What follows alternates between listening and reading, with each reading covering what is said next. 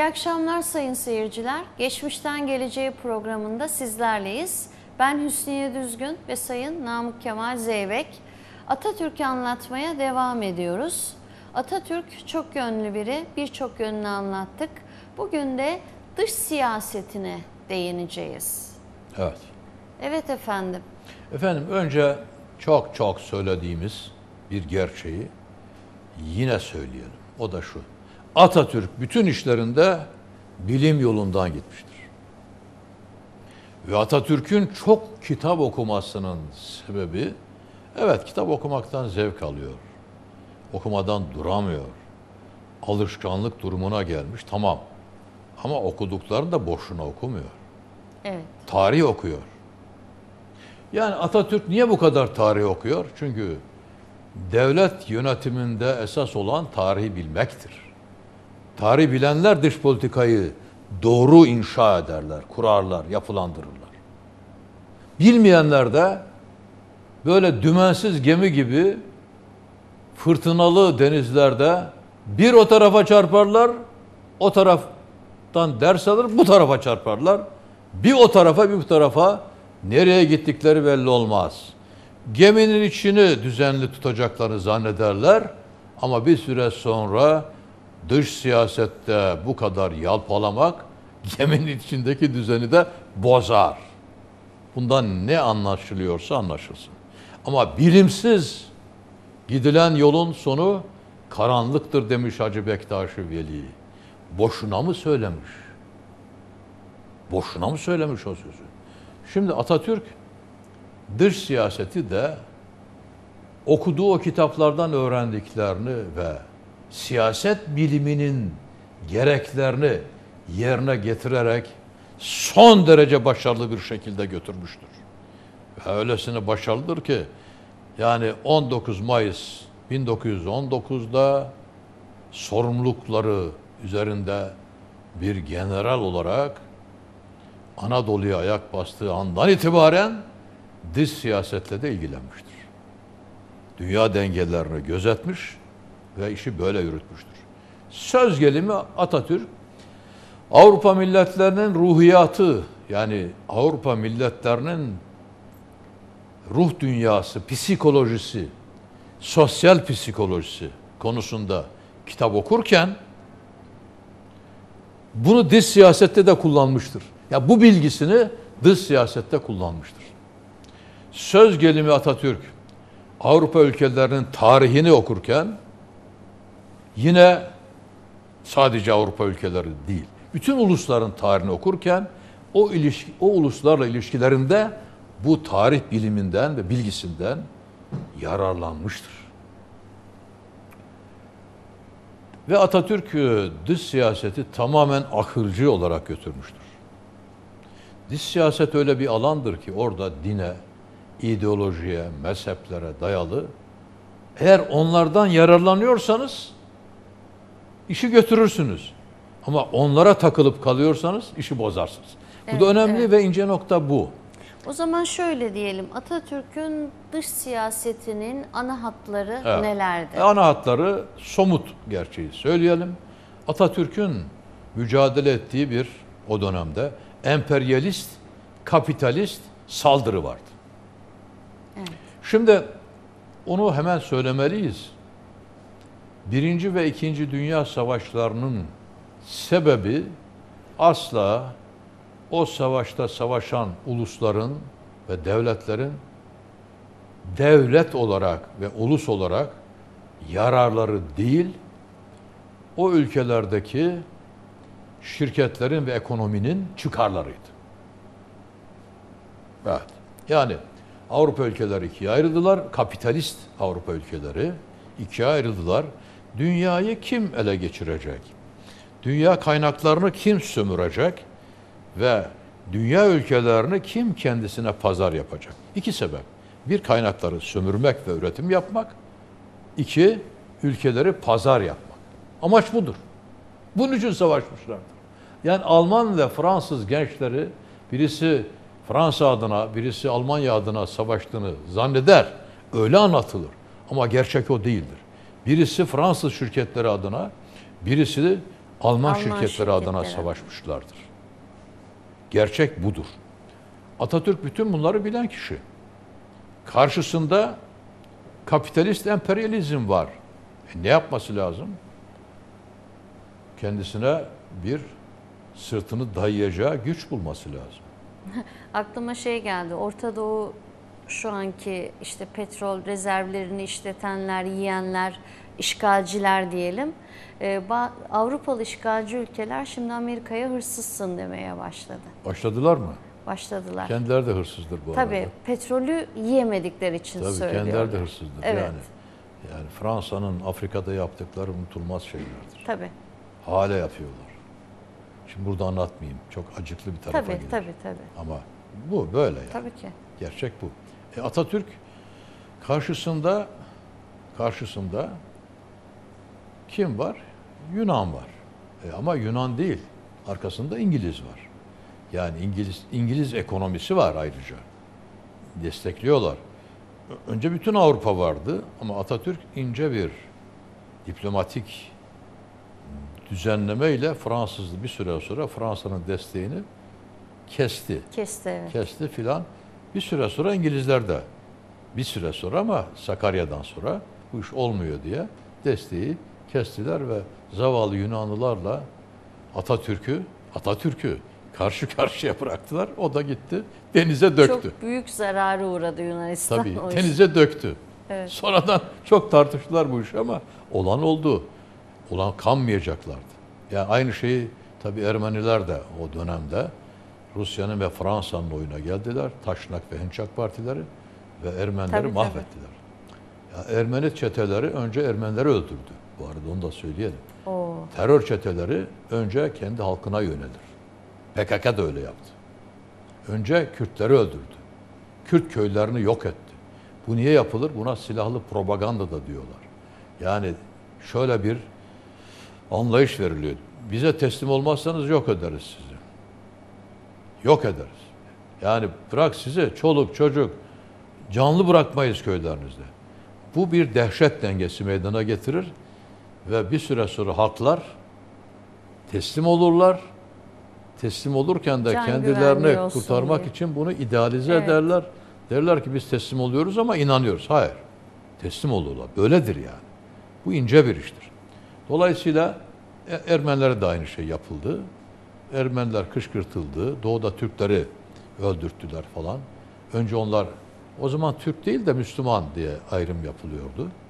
Çünkü ilginçtir Ermeni çeteleri içinde bu da belki izleyicilerimiz için yeni bir bilgi olacak.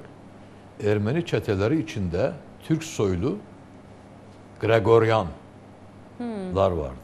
Onlar kendilerini dinden ötürü, mezhepten ötürü Ermeni hissediyorlardı. O yüzden o dönemde çelişki Ermeni, Türk değil, Müslüman, Hristiyan çelişkisidir o dönemde. O dönemde. Dolayısıyla aynı şey batıda artık. O halledildi. Yani Kazım Karabekir Paşa doğudaki o belayı çözdü. Yani 3000 kişilik bir düzenli orduyla 11 bin kişilik Ermeni ordusunu yok etti ve Ermeni meselesini bitirdi. Bitiren Kazım Karabekir'dir. O için Doğu'nun kurtarıcısı denilir. Büyük bir insandır. Atatürk'ün de en yakınlarındandır ama onda Atatürk gibi devrimci bir ruh yeteri kadar Yoktur. olmadığından biraz ayrı düşmüşlerdir ama Atatürk söylüyoruz yalnız adam olduğu için İsmet Paşa bile onu anlamadı. Harf devrimine karşıydı İsmet Paşa. Yani o bile anlamadı. Yalnız adamdı. Başka bir şeydi o. Yani Himalayalarda Everest değil, sanki böyle ne bileyim Orta Anadolu'da Erciyes gibiydi. Yani gerçek bu. En yakınlarından padişahçılar vardı Atatürk'ün. Yani Rauf Orbay. Yani söylediği söz damarlarımda padişahın nimetleri kan yerine dolaşıyor. Ben nasıl saltanatın kaldırılmasını isterim filan. Öyle söylüyorlardı. Yani kolay değildir. Atatürk'ün yaptığı işleri yapmak kolay değildir. Arkadaşlarına rağmen onları sürükleyerek yaptığını yaptıysa. Ama Atatürk'ten sonra işler değişti. Şimdi yani en başın, baştan laiklik yavaş yavaş rafa kaldırıldı filan. Türkçülükten vazgeçildi, batıcılık oldu filan. Dönelim. Şimdi sorunuza dönüyorum. Bu, bu bir nevi böyle bir ayraça alınmış sözlerdi bunlar. Paralel için ayraç mı diyorsunuz? Diyelim. diyelim olur. Olur. Ya parantez için. Parantez için. Karşılıklı olduğu mu ayraç oluyor. E tamam bu da ayraç oluyor. Şimdi ayraça alınmış sözleri ikinci ayraçla kapattı. Evet. Karşıda Batı kapitalizmi saldırıyor. Kim yardım edecek? Doğuda bir devrimi yapılmış. Anti kapitalist, anti emperyalist bir devrim. Lenin'in devrimi. Sosyalist devrim ya da Bolşevik devrim. Bolşevikler Atatürk'ün Bolşevik olmadığını, sosyalist olmadığını biliyorlar. Atatürk solidaristtir, toplumcu. Ama toplumcudur. Fakat yani ideolojik anlamda o Türkçüdür. Onun ideolojisi Türkçülüktür. Ve dolayısıyla sosyalist değildir. Dolayısıyla Bolşevik Rusya'nın Atatürk'e yakınlaşması için ideolojik birliktelik yoktur. Ama dış siyasette ideoloji olmaz. Ya nedir? Türkiye'nin Batı kapitalizmine karşı verdiği mücadele en azından milli demokratik devrimdir ve dolayısıyla Rusya desteklemiştir. Evet. Sonradan o gerçekler örtülmüştür.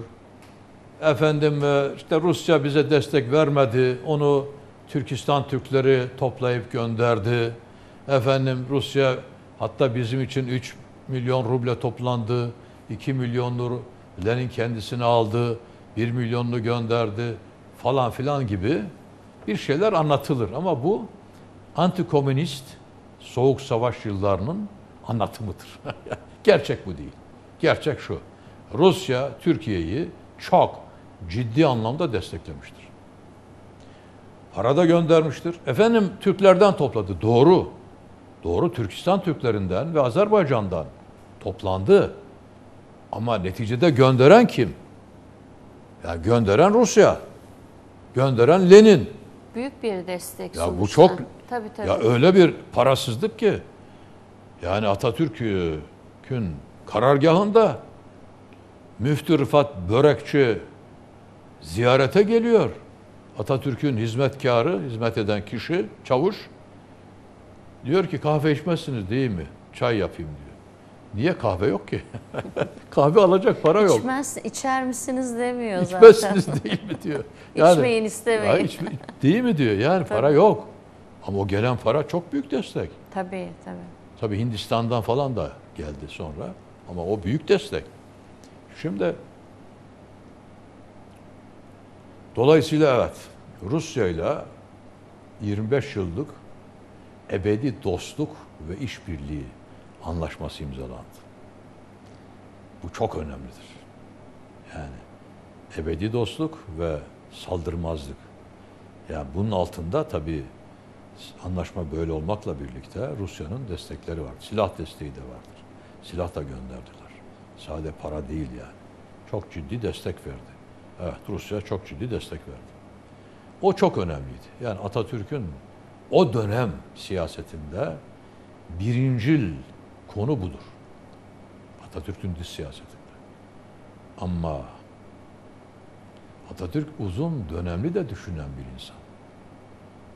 Bunu sağlama bağladı. Tamam. O tamam. Ama bugün Lenin var.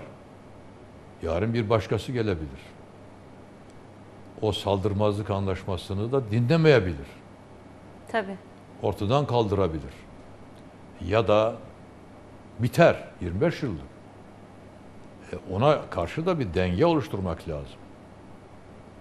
Ve ikincil derecede önemli bir anlaşma yaptı. İran.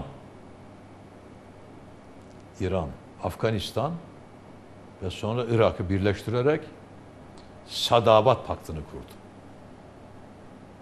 Sadabat Paktı'nı kurmasının amacı ne? İki amacı var. İngilizler oraya sokmamak. Birisi de Rusya kuzeyden kıpırdarsa güneyde bir güç oluşturmak. Bunu Ruslar görmemiş olabilir mi? Mümkün değil. Gördüler ama göz yumdular. Çünkü kötü bir niyetleri yoktu diyelim. göz yumdular. Bir de Atatürk bu. Onunla iyi olmak istiyorlar. Ya Atatürk'ün kişiliğinin onun saygınlığının çok önemi var. Evet. Sadabat Paktı'nı oluşturdu. Ve bakınız yaptığı şeye Ankara Paktı demiyor. İran'ı ikna etmek için Tahran'da kuruldu bu pakt imza töreni. Orada yapıldı. Adına da Sadabat. Sadabat bir saraydır Tahran'da. Eskiden kalma güzel bir yerdir. Güzel bir saraydır yani. Orada yapıldı. Anlaşma orada. Adı Sadabat Paktı. Afganistan da buraya dahil edildi. Sonra Irak'ta dahil edildi. Böylece bir sağ kanat oluşturuldu. Kuzey sağlama bağlandı. Sınırları ne güzel e, güvenliğe alıyor değil mi? Tabii bak. tabii. Irak'ta komşumuz. Evet, Irak komşumuz. Oraya, Daha orayı da- güneyi de ele alıyor. Orayı, son, orayı tabii. Güneyde, güneye de gelelim. Sonra Balkan Paktı'nı kurdu. Evet. Balkan Paktı'nı kime karşı kurdu? Hitler'e karşı kurdu. Çünkü Hitler'in çok silahlandığını devamlı bilgi alıyor. Okuyor. Yani yabancı gazeteler de okuyor. takip bil- ediyor. efendim, Evet. Dış basını takip dış basını ediyor. takip ediyor. Fransızcası mükemmel. Tabii. yazacak kadar konuşması zaten akıcı. Görünüyor bazı kayıtlarda var. Gayet rahat, güzel konuşuyor. İngilizce de öğreniyor bu arada. İngilizcesi başlangıçta o kadar iyi değil. Almanca ve İngilizce de öğreniyor ama onlar o kadar iyi öğrenmiyor. Fransızcası mükemmel. Dış basını. O zaman da dünya dili Fransızca. Fransızca Şimdiki evet. gibi İngilizcenin olduğu gibi takip ediyor ve diyor ki bu Führer yani Nazizmin kurucusu Führer ve Almanya'nın işte lideri Führer'i, başkan yani. Führer bizdeki başbuğ sözüne benzer bir sözdür. Almanca'da, Türkiye'de başbuğ dendiği gibi onlarda Führer, İtalya'da da Duce deniliyor. Şimdi Duce ile Führer de çok yakın birbirine.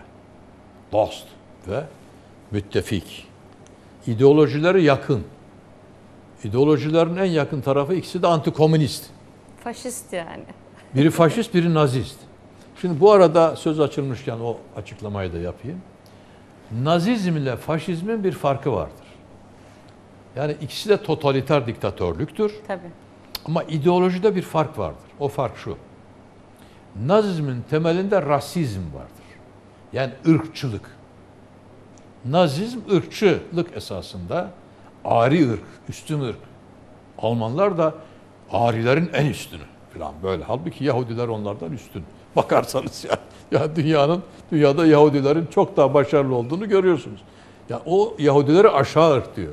Halbuki hiç de aşağı falan değiller. Belki de kendilerini geçti, geçeceğini gördüğü için e, yok etmeye E, biraz kıskançlık var içinde Evet. tabii. Ve efendim geçmiş zaten yani Geçti. Almanya'da ticaret Tabii, falan tabii, filan tabii. hep geniş ölçüde onların elinde.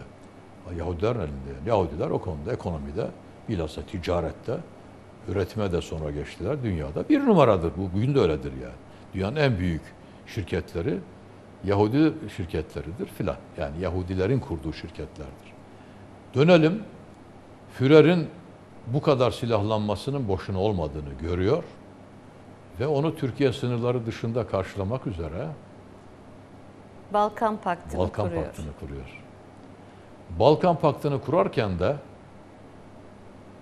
işte Yugoslavya işin içinde efendim e, Yunanistan'ı alıyor. Balkan ülkelerini bir araya getiriyor. Yunanistan biraz nazlanıyor.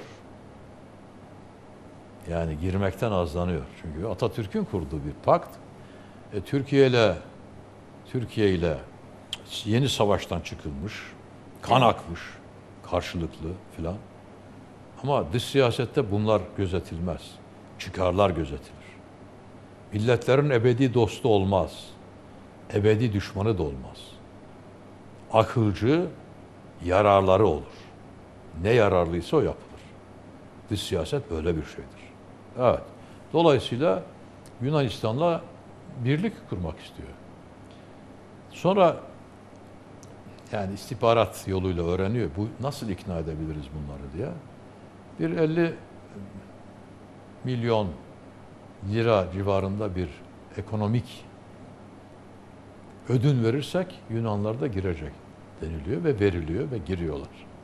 Yunanistan da girdi o pakta. Atatürk'ten sonra o pakt dağıldı.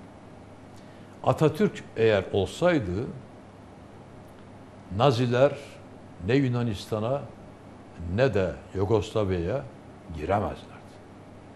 Giremezler. Bu arada Atatürk dış politikada bu atakları yaparken bir taraftan da Türklüğün onurunu koruyor ya. Yani örnek bir e, Yugoslavya kralıyla bir yemekte kral diyor ki işte ekselans bu İngilizler diyor Yunanlardan önce bana teklif ettiler Türkiye'ye Anadolu'ya girmeyi. Cevap size çok geçmişler olsun ekselans kurtulmuşsunuz. Yani nükteyi ama onurlu nükteyi de ihmal etmiyor Atatürk. Evet. Balkan Paktı'nı kurdu. Böylece Çankaya Kartalı iki kanadının altına, bir kanadının altına Sadabat Paktı'nı, bir kanadının altına Balkan Paktı'nı koydu. Kuzey, kuzeyde Fransızlar var. Suriye'de. Fransızlarla zaten ilişkileri düzeltmiş. Yani Suriye diye bir devlet yoktu daha. Orası Fransız. Ama Hatay'da Fransız e, yönetiminde değil mi? Oraya geleceğiz sanırım. Evet. evet. Orada İskenderun Sancağı diye bir bölge var. Bugünkü Hatay. Adı İskenderun Sancağı. Halkın büyük bir kısmı Türk. Yani çoğunluk Türk. Suriye'de kalmış. Atatürk orayı almak için ne mümkünse yaptı. Hayatını da o yolda verdi. Verdi. Yani içeriden insanlar gönderdi, propaganda yaptı, gösteriler yaptırdı. Atatürk hiçbir konuyu rastlantıya bırakmazdı. En ince ayrıntısına kadar yordamlaştırır yani programlaştırırdı. Yordamlaştırır ve ortaya çok ciddi bir uygulama alanı çıkardı ve uygulardı. Yani Hatay meselesi çok ilginç. Biz e, vaktimiz varsa biraz Hatay'da ayrıntı yapayım. Var mı? Birazcık değinebiliriz Evet. evet. Hatay bizim için önemli yani İskenderun. önemli. Türk bölgesi, İskenderun falan. Onu almak lazım. Tabii limanı var. Liman var. kere. Liman var. Tabii. Ve Atatürk orayı almayı aklına koydu. O kadar e, şeye bağlandı ki yani gerekirse Cumhurbaşkanlığını bırakırım. Gider orada çete kurarım. E, Türkiye'de bana artık e, şey diyemez. Çünkü ben artık Türkiye e, ordusunun ya da devletinin bir e, ferdi değil. Bağımsız bir kişi olarak giderim. Mücadele ederim. Trablus'ta yapıldığı gibi. Evet. De- Onu dahi düşünüyordu ve söylüyordu ama ona gerek kalmadı. Çok ince bir dış siyaset, diplomatik başarıyla Hatay'ı Türkiye'ye bağladı. Bu arada o dönemin hükümeti, eleştiri için söylemiyorum, İsmet Paşa temkinli bir insandır. Esas olan temkindir. Çünkü Türkiye'nin savaşa girmesini istemez. Ama Hasan Rıza Soyak hatıralarında şöyle anlatır. Ee, Kısa bir aradan sonra Evet, devam Hatay'a devam edebilir edelim. miyiz? Evet. Kısa bir ara reklamlar.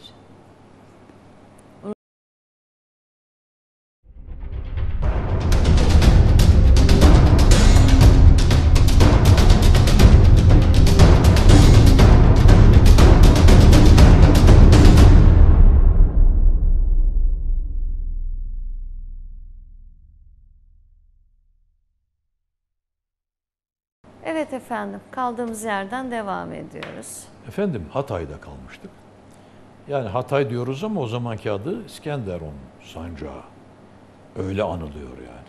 Suriye'ye bağlı bir bölge ve Türk bölgesi. Halkının çoğu Türk. Halkının çoğu Türk. Bu arada Arapça konuşan Aleviler var. Onlara Nuseyri falan da denilir.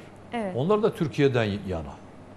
Tabii, da tabii, tabii, Türkiye'den tabii, tabii, O zaman kesinlikle. filan yani halk oylamasında onlar da Türkiye'den yana oy verdiler.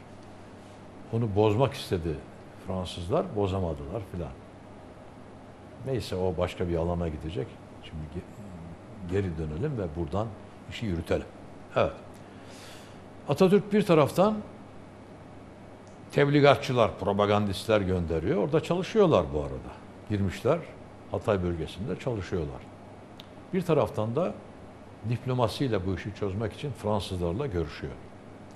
Fransızlar veresi değil, verici değil. Veresi yani vermek gelmiyor işlerinden ama Tabii ki gelmez. gelme, gelmiyor ama Cennet gibi yeri almışlar. imkanları çok. Tabii. Zengin. zengin. Ama e, Atatürk bu. Ona da iyi olmak istiyorlar. Fransızlar şöyle bir ince siyaset uyguluyorlar. Nasıl olsa Atatürk hasta, ölecek. O ölünce zaten İsmet Paşa ya da başkası bu işi bırakır. Bu Atatürk'ün şahsi meselesi. Zaten öyle diyor, benim şahsi meselem diyor. Bu arada Mussolini de orayı istiyor. Mussolini bir heyet gönderiyor Atatürk'e. İşte ekselans biliyorsunuz Duce sizi çok sever. Führer'i birinci, sizi ikinci, kendisini ikinci öğrenciniz gibi görür. Hiç ilgisi yok. Çünkü Atatürk onları İltifatlar, sevmiyor. iltifatlar. Tabii ki sevmezler. Atatürk onları da sevmiyordu. Tabii, tabii. Napolyon'u da sevmiyordu mesela. Kendisi Napolyon'a benzetince kızıyor. Tabii. Bırakın diyor. Ben vatan için savaştım. O halkını maceralara götürdü filan diyor.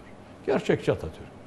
Atatürk'ün e, anlayışında vatan savunması için olmazsa savaş bir cinayettir. Nasıl bir insan?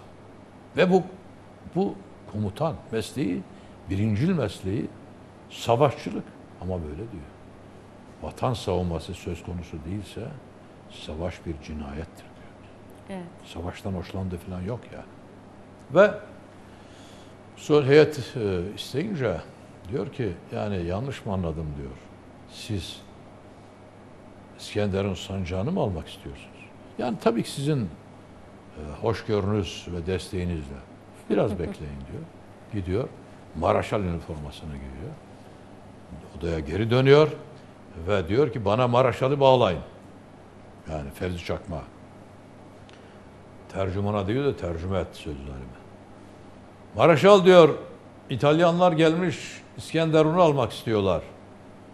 Ben üniformamı giydim ve savaşa hazırım. Siz de hazır mısınız? Oradan cevap geliyor. Her zaman hazırız. Baş e, kumandanımız. Kumandan deniliyor. Komutan sonraki söz. Evet, biz savaşa hazırız, ordumuz da hazır. Buyurun gelin alın diyor. Ve konuklara kapıyı gösterin diyor. Mussolini'ye gidince Mussolini bir nutuk atıyor. Evet diyor, böyle demiş o Kemal diyor. Ama diyor, o nasıl olsa diyor, ölecek, o hasta, ben diyor alacağım o İskenderun'u diyor. O sarhoş diyor, ölecek diyor, böyle diyor, sarhoş. Atatürk'ün akşamlar içmesinden ötürü sarhoşluğundan olduğu yok. Öyle bir söz yayılmıştır. Yenilerden de birisi söyledi onu. Onun sarhoşluğu senin ayıklığından daha ayıktır. Zaten o e, ne bileyim İstanbul'da olan, Ankara'da olan e, Avrupalı ajanlar mı desek? Onlar belki de o sözleri yaydılar diye düşünüyorum. Tabii ki. Tabii ki yayılıyor. Ya ama Atatürk günümüzde gizledi- bile kullanılıyor. Gizlemiyor da. Herkesin göreceği yerde rakısını koyuyor, içiyor yani. Atatürk öyle mürahi, iki yüzlü falan bir adam İki yüzlü değil. değil, hayır. Neyse Net, o. net. Neyse o.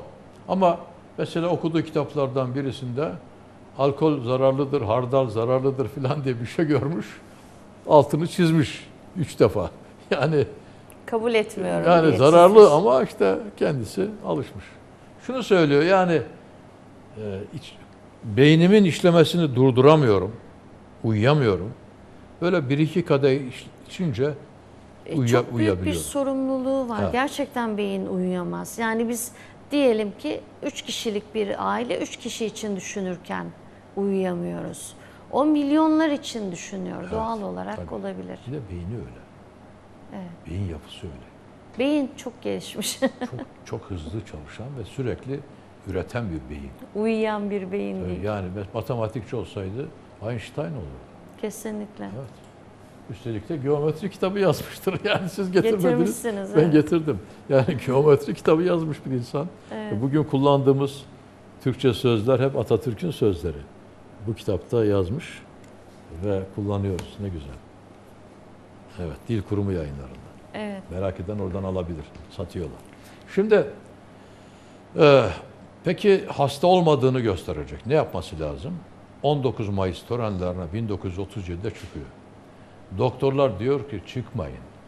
Ama bunu göstermek ve bu Tabii. algıyı yaratmak zorunda. Çıkmayın diyor. Evet.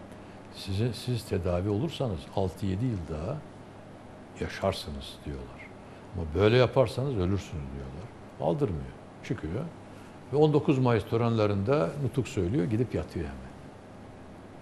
Sonra biliyorsunuz Güney'de gitti. iki yerde gösteri düzenledi. Adana'da artık vücudu dayanamıyor. Ayaklarının, bacaklarının titrediğini göstermemek için gerginleştirip duruyor. Çünkü vücut artık gidiyor ya. Ve marş marş diyor hızlı geçsinler diye. Yani askerlikte marş marş demek koşun demektir. Koşarak geçiyorlar filan. Ama tören tamamlanıyor. Anadolu Ajansı ve bütün dünya basını Atatürk sapasağlam. Hiç öleceği falan da yok deyince Fransızlar anlaşmayı imzalıyorlar. Ve Hatay böylece kurtuluyor ama döndü ve komaya girdi. Çok yazık işte. Ve ondan sonra bir daha kalkamadı. Yani vatan uğruna öldü. Hatay uğruna öldü. Şimdi burada bir incelik. Diyorum ki At- Atatürk her şeyi hesaplar. Söz gelimi işte Yunanlıları razı etmek için onlara ödün verdi. Ekonomik. İran'ı bu anlaşmaya razı etmek için yaptığı işlerden birisi Türkiye'de yapılan, üretilen bir uçağı satın alıp İran Şahı'na hediye etti. Şahsi birikiminden satın aldı. Parasını devlet vermedi, kendisi verdi. Ve İran'ın bu benimdir diyerek yani şahsını hediye etti. Şaha. Büyük Rıza Pehlevi'ye hediye etti. Başka? Şahı ikna etmek için bir opera yazdırdı. Özsoy operası evet. Şahı ikna etmek için, etkilemek için. Birçok şey de biri de bu. Yani bu operayı çok seviyorum. Bu op- operada anlattığı Ahmet Adnan Saygun'a bunu besteletti ama metni kendisi yazdı aslında. Yani yazdırdı yani. Libretto. bir yazar. Libretto diyorlar Evet. malum. Yani burada çok ilginç ifadeler var. Tanrı'ya işte yakarışlar var filan. Efendim şöyle bir bir şeyler bakalım. Bu kısa bir, bir perdelik bir operadır. Mesela koro söylüyor. Ulu Tanrı, can verdin bize sen. Ey Ulu Tanrı, Ulu Tanrı, iman verdin bize sen. Ulu Tanrı, Ulu Tanrı, Ulu Tanrı, Ulu Tanrı, bir yavru ver bize. Çocuk istiyorlar. Ulu Tanrı, Ulu Tanrı bizi dinle. Bu koronun söylediği. Yani işte tenörler söylüyor, altolar söylüyor filan. Aynı sözleri biraz değiştirerek sopranolar söylüyor. Yani çeşitli filan. Ve eee, sonunda bir efsane sonunda anlattığı şu. Aslında diyor bu İranlılarla Türkler tarihin derinliklerinde bir ulustular diyor. Sonra ikiye ayrıldılar diyor. Nasıl ikiye ayrı? Bu bir Firdevs'in Şehnamesi'nde olan bir söyleyiştir. Ama onu Şah'ın gözüne ve gönlüne sokuyor. Yani Feridun diye bir efsanevi bir hükümdar var. İşte böyle yalvara yakara çocuk istiyor filan. İki ikiz çocuğu oluyor. Birinin adı Tur, Turaç. Birinin adı Ir, İraç. Tur, Ir. Tur'dan Turanlılar, Turanlar, Türkler, İr'dan da İranlılar oluyor. İranlar evet. Sonra bunlar arasında işte bölünmeler, savaşlar filan falanlar oluyor. Ve sonunda şöyle bitiyor. Dinliyor bu arada. Şah dinliyor ilk defa ve şaşırıyor yani Türkiye'de opera mı yapılıyor diye. Anne devreye giriyor falan. Göklerden bir ses geliyor sonunda. Göklerden bir ses geliyor. Hatun merak etme sen çocukların annesi. Ehriman'ın dileği ancak üç defa yerini bulur. Ehriman eski Zerdüşt dininde kötülük ilahı. Yani Zerdüşt dininde üçlü bir sistem var. Uluhiyet, Allah'lık diyelim sistemi var. En büyük Allah Ahura Mazda. Ama o yarattı karışmıyor hiçbir şeye. İki tane daha ilah yaratmış. Biri Ehrimen, yani şeytan filan denilen. E sonra diğer din, Semitik dinlerde ona şeytan denildi. Bir de Hürmüz var. O da iyilik tanrısı. Diyelim ona da melek filan, melekler ya da. Hürmüz iyilik tanrısı, Ehriman kötülük tanrısı. Ehriman dediği o. Ve bütün İranlılarda Müslüman da olsalar Zerdüşlüğe karşı bir saygı eğer molla falan değilseler Zerdüş dinine karşı bizim milli dinimiz diyerek bir saygı vardır. Ben gördüm bunu ya. Çok da böyle hemen böyle atılacak bir şey değil ya. Kitapları var Aves'te falan. Zerdüş'te peygamber olduğunu iddia ediyorlar. Öyle inanıyorlar filan. Hatun merak etme sen. Ehrimanın dileği ancak üç defa yerini bulur. Senin yavruların bir daha el ele verirse, yavruların yani ir ile tur. Bir gün ehriman çatlayacak. Yeryüzü nur dolacak. Nur, hürmüz. Ya iyilik dolacak. Şimdi bu oyun bitince oyunun sunucusu Öz Ozan sahneye çıkıyor ve soruyor. Ir şimdi nerede? Tur şimdi nerede? Sonra dönüyor. İşte Tur Atatürk. İşte Ir Şah. Öyle heyecanlanıyor, öyle etkileniyor ki İran Şahı. Atatürk'e sarılıyor, hüngür hüngür ağlıyor. Ve bu opera 3 ayda yazıldı. Böyle operalar 3 ayda falan yazılmaz. Hatta 3 ayda olsun filan o zamanki genel müdüre talimat, genel müdür oyalıyor işi. Atatürk de e, yetişsin istiyor. Adnan Saygun'u genel müdür yaptı. Ve 3 ay sonra opera ortaya çıktı. Türkiye'nin ilk operasıdır bu. Türkiye'nin. Bütün Doğu'nun ilk operası Azerbaycan'da yaranmıştır yani yapılmıştır. Leyli Mecnun operası. Ama Türkiye'de ilk opera budur. Dış siyasetle bir operamız oldu. Evet, yani Atatürk evet. dış siyasette her nesneyi, her unsuru, her gücü, Kullanır. her şeyi değerlendirir. Değerlendirir diye. E, kullanır, değerlendirir. Evet, evet. Kullanıyor ve Atatürk döneminde evet Atatürk Ee, döneminde Türkiye'nin düşmanı falan yok. Yok yok. Ee, Düşman yok. Çünkü ekonomisini de geliştiren bir Kimseye e. Atatürk var. Ha. Ülkenin ekonomisini dışa bağımlı hale getirmiyor. Evet. E, peki bu dış politikayı belirlerken hepimiz biliyoruz ki ekonomi çok önemli. Evet. Şu anki dengelerde ekonomi üzerine kurulu. E, peki dış siyasetle ekonomik arasında nasıl bir paralellik yarattı? Nasıl bir ilişki yarattı? Bunu nasıl var etti? Ve bu kadar güçlü oldu dış siyasette. Evet yani Atatürk'ün e, kimseye borcu yoktu. Batı'ya olan borçlar Onları da ödedi Onlar önceden ödedi. kalanları Onlar- da. Evet. zaten Osmanlı'nın borçlarıydı. Osmanlı borçlandığı için ekonomisi dışa bağımlı olduğu için siyasette dışa bağımlıydı. Osmanlı son yüzyıllarda bağımsız bir devlet falan değildi. İki konuyu ayıralım. Bağımsız, Atatürk tam bağımsızdı. Tam bağımsız. Tam bağımsız Türkiye'yi yarattı. Tam bağımsız Türkiye. Ama bağlantıları vardı. Bağımsızlık başka bir şeydir, bağlantı, Bağlantı başka farklı bir bir şey. şey, Tabii ki evet. bağlantılar olacak. Anlaşmalar yapacak. Ama Tabii Atatürk ki, tabii ki. kimseye, hiçbir ülkeye bağımlı değildi. Kararlarını kendi veriyordu ve uyguluyordu. Evet, yani ne yapılması gerekiyorsa onu yapıyordu. Atatürk döneminde dış borç alınmamıştır. Atatürk döneminde ekonomi tamamen milli kaynaklarla yürütülmüştür. Atatürk döneminde fabrikalar yapılmıştır. Demir yollar yapılmıştır. Hani Evet. 10. yıl marşında söyleniliyor ya. Demir ağlarla ördük ana yurdu dört başlı. Aynen de yaptı onları. Tabii ve demir yolculuğuna önem verdi. Doğrusunu yaptı. Evet. Çünkü demir yolculuk, demir yolları neredeyse yüzde yüz yerli üretimle yapılabilecek şeyler. Vagonlar falan yapılır. Lokomotifler de yapılır.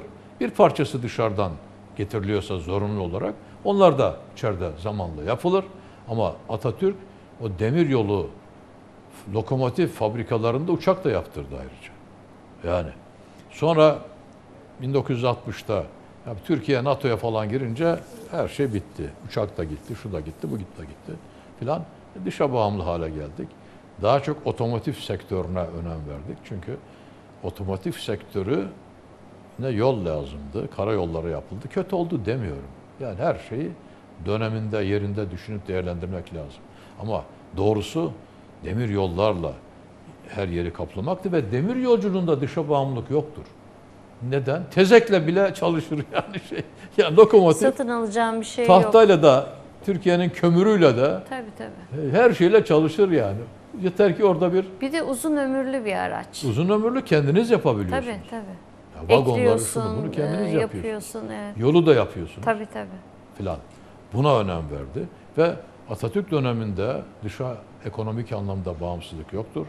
Kalkınma hızı ortalama yüzde ondur. Hiçbir dönemde Atatürk'ten sonra hiçbir dönemde bu başarılamamıştır. Topladığınız zaman yani yüzde 25 falan olduğu yıllar da var. Ama e, Atatürk döneminde ortalamaya baktığınız zaman yüzde onun da üstündedir. Bakınız şurada e, rakamları okuyalım da 179 evet. Sanıyorum burada kitaba koymuş olmalıyım. E, rakamlarla 50 milyon lira koymamış mıyım? Evet.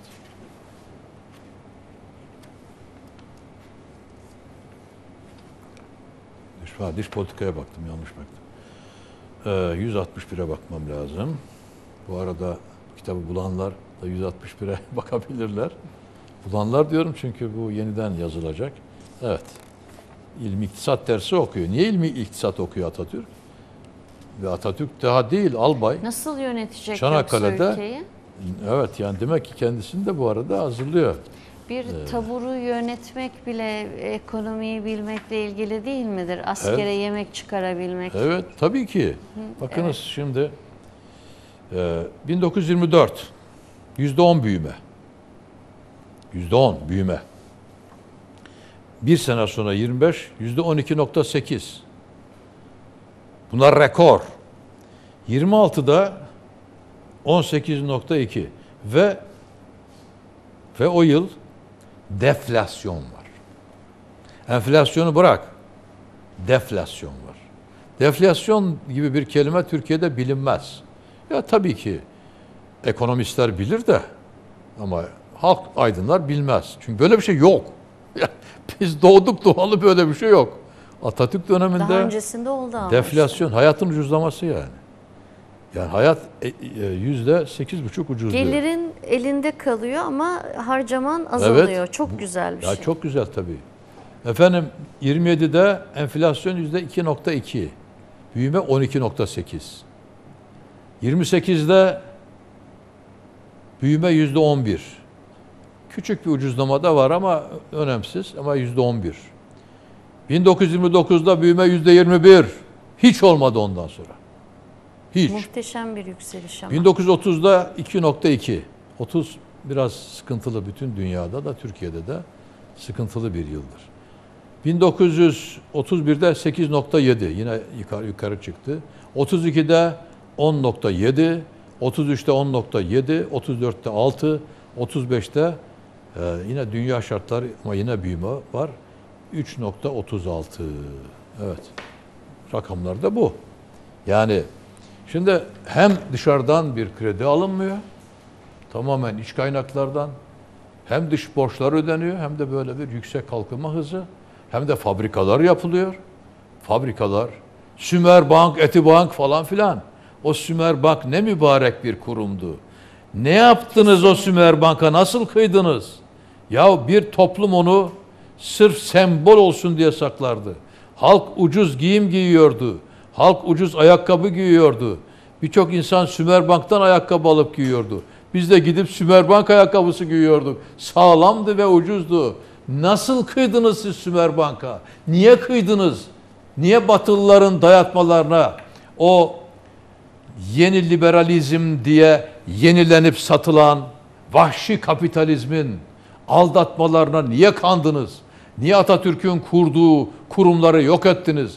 Nasıl yaptınız bunu? Niye yaptınız? Niye yaptınız? Ne diyeyim daha? Şimdi dilimi biraz daha tutmasam çok daha sert konuşacağım ama hiç olmazsa böyle bir feryadım olsun.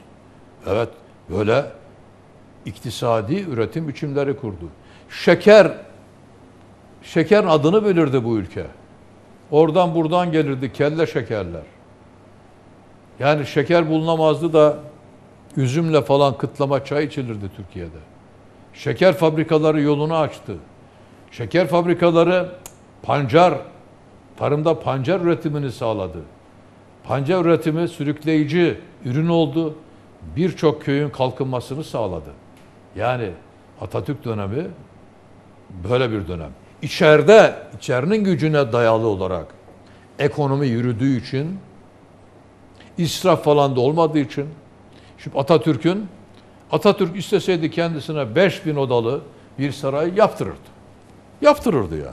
Bir yerlerden kısardı, bir fabrikayı Tabii kurmaz. %27 ekonomide büyüme olmuş. Yaptırırdı çok Yaptırır. rahat. Yaptırırdı. Hayır.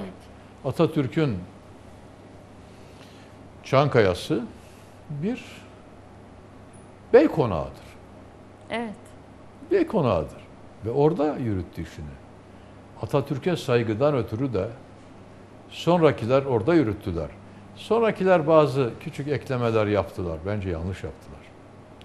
Atatürk'ün sofrası bile bir süre sonra ne yazık ki yemek yediği oda. Yani şu bizim bu oda kadar bir yerdir orası. Ben orada yemek yedim. Ne Ya güzel. verilirdi çok yani. şanslısınız. Ben Cumhurbaşkanlığı baş danışmanıyken orada yemek yedim.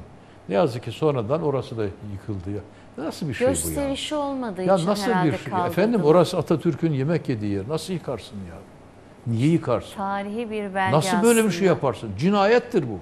Evet. Böyle bir şey olur mu? Atatürk orada yemek yiyip sadece yemek mi yemiş?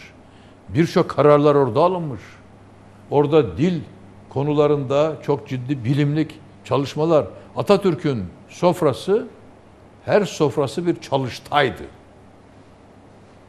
Çalıştaydı. Bilimlik konular konuşulurdu. Bilim adamları konuşulurdu. Kalkar konuşurlardı. Tartışmalar olurdu. Sen öyle bir yeri, kutlu bir yeri yıkıyorsun, oraya bir bina yapıyorsun. Yani neyse burada söz uzatmayayım, Zülfiyar'e dokunmasın. Ama Atatürk döneminde keskin bir şekilde tutumluluk vardır. Tutumluluk. Ve tutumluluk haftaları yapılırdı. Yerli malı kullan ve tutumluluk haftaları yapılırdı. Evet Tutumluluk annelerimiz kültürü. yiyecekler hazırlardı. Kuru mi? yemişler, meyveler götürürdük. Şimdi var mı? Giysiler götürürdük. Bilmiyorum ben. Nasıl bilmiyorsunuz? eee, Olsa ilkokulda bilirdiniz. değilim ama öyle bir hafta yok Yok efendim olsa artık. bilirsiniz siz. Hayır yerli Öyle. malı yok artık. Yok artık efendim yani ne yerli malı ya. Evet. Yerli malı diyeni bir ara bizim çok değerli bir kişilik Karaca. Ee, yani o çok değerli bir insandır. Bu, bu konularda konuşmalar yaptı. Çok meşhur bir yazarımızla bu kafa, bu çağda hala yerli malı olur mu falan filan diye ona yazı yazdı. Cevap ben de ona cevaben yazı yazdım. Bu çağda, bu dünyada hala yerli malı kullanı e, yanlış gören kafa olur mu diye. Amerika'da dünyanın en çok üreticiliği olan ülke, en yaygın ve güçlü kuruluş Amerikan malı kullanmalısın adlı bir gönüllü kuruluş. Japonlar da çok hassas bu Japonlar konuda. zaten deli gibi o konuda. Tabii. Evet. Programımızın sonuna geldik Öyle efendim. mi? Evet. Son Evet. birkaç cümle. Son birkaç söz şu Atatürk'ün Yaptığı her şey bilime dayalıdır. Dış politikayı da bilime dayalı yürüttü. Atatürk'ün dış siyasetinde dünyayı kendisine hayran bırakacak uygulamalar ve sözler vardır. Atatürk'ün yurtta sulh, cihanda sulh sözü bir takım sapıklar, sapkınlar onun yarısını alıp e, lekeleseler de hiçbir şekilde lekelenmez. Güneş balçıkla sıvanmaz. Atatürk'ün o sözleri bugün de geçerlidir. Bizim için esas olan onun yolunda yürümek ve bütün dünyayla barışık olmaktır. Dünyayı kendimize düşman etmenin hiçbir anlamı yoktur. Ama bunun için de milli ekonomi, toplumcu ekonomik uygulamalar uygulamak gerekir ülkede. Teşekkür ediyoruz. Yurtta barışın, dünyada barışın olduğu günlere uyanmak dileğiyle. Hoşçakalın.